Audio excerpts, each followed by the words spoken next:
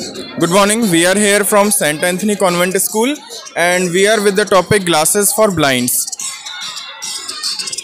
Hello, good morning. We are the students of St. Anthony's Convent School. Today we are here with our model. As we know that vision is the most important part of human psychology as 83% of the information that human beings receive is through the sight.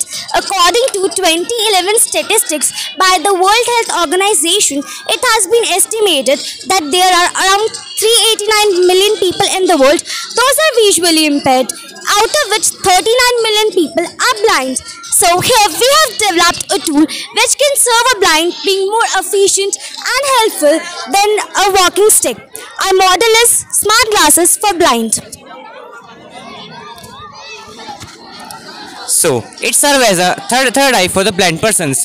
It, it, it is an initiative for the blind persons as they can move freely without any tension of getting injury and anything else. So, I'll explain the working of this model. Here is an ultrasonic sensor which will emit ultrasonic sound waves towards the object. When those rays will get reflected back, it will send the signal to this microcontroller Arduino Nano. Then the uh, microcontroller will send signal to this buzzer and it will start beeping. We will show you working.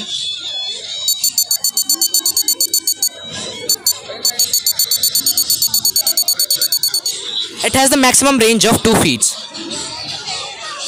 Thank you.